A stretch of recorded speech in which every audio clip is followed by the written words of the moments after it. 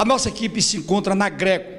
O delegado Carlos César vai falar da prisão de três elementos que efetuaram um assalto na Caixa Econômica de Bacabal, no estado do Maranhão.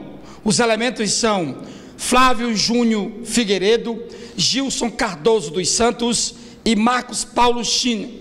Delegado, como foi possível a prisão desses três elementos? No último domingo, nós recebemos uma ligação telefônica né, do, do delegado Tiago Bardal, da Superintendência de Investigação ao Crime Organizado da Polícia Civil do, de São Luís, né, afirmando sobre esse assalto que havia ocorrido na, em Bacabal na, no final da tarde da, sexta, da última sexta-feira e dizendo que os três indivíduos seriam de São Paulo e estariam é, autores do crime, estariam já em Teresina no domingo para levantar voo para São Paulo, já em fuga. Né?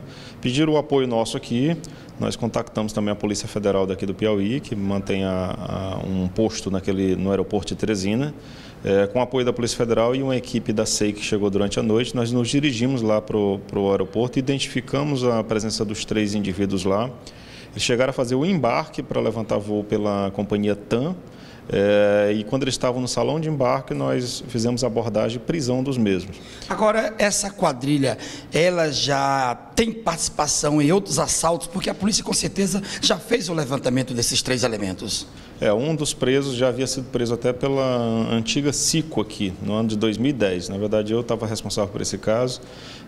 Estava é, em Teresina, com, é, dois, eram dois paulistas e um cearense estavam fazendo aqui era fraude eletrônica, estavam colocando o conhecido chupa-cabra em, em caixas eletrônicos aqui em Teresina, da Caixa Econômica Federal também.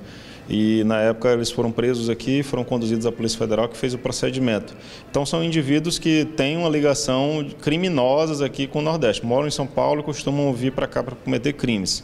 Nesse caso, a polícia maranhense teve sucesso nas investigações e com nosso apoio realizamos a prisão deles aqui em Teresina. A prisão de Flávio Júnior de Figueiredo, o Gilson Cardoso dos Santos e Marcos Paulo Chine na lente.